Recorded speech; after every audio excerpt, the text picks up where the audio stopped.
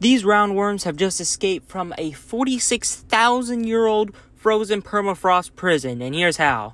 So, scientists claim that these worms have been around since the time of the Ice Age and were with woolly mammoths before they were frozen in permafrost.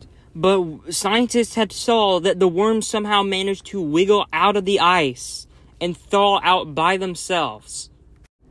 So yeah, basically that means like people can maybe be frozen for maybe years and they can maybe thaw out because that's been a theory for a very long time where people can you know how Captain America got frozen 100 years like that. Well, that might actually be able to be happen like they can permafrost people maybe. But um that's pretty much everything I got to say today. I'm trying to make this short cuz I really don't feel good right now. And yeah, this is Mason signing out.